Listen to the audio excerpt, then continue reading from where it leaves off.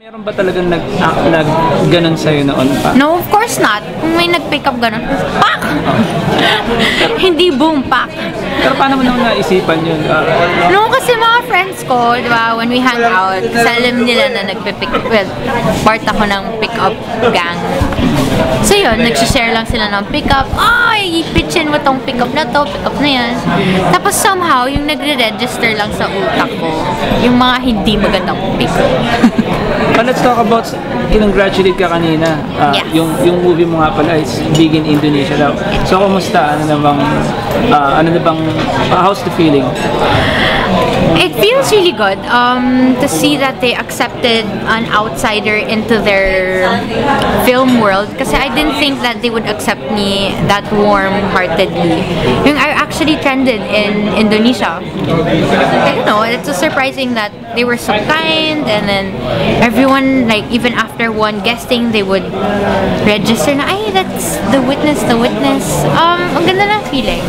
Ah, may ano ka ba? May, nag, nag may tour ba na gagawin for the promotion of the movie pa? Further? Um, our next showing, I think, is in Singapore. wow. After Singapore is Thailand, Brunei, and Malaysia. But I don't know if I will be going there because I might be busy. Busy with what? Ah, that's a surprise. I will be able to tell everyone next month, right? Like in about a month or two. I'm, I promise you, it's something big. Ah, FHM 100 Sexiest is I know I'm part of it, and I never posted a Oh, yun nga eh. picture. So, paano ba?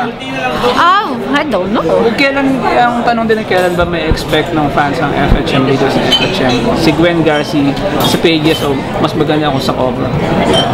What? When am I going to post on the cover of Yeah. HM? After my second baby. Abangan. After, hindi, Bakit? ang ganun after your Kasi sexy pa rin after my baby.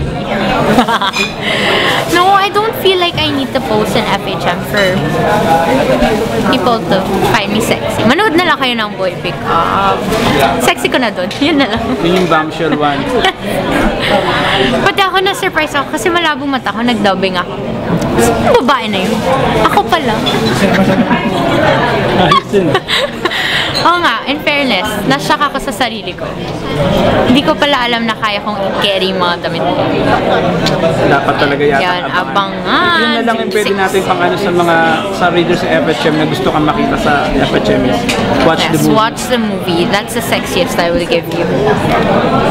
Thank you. Thank you! po.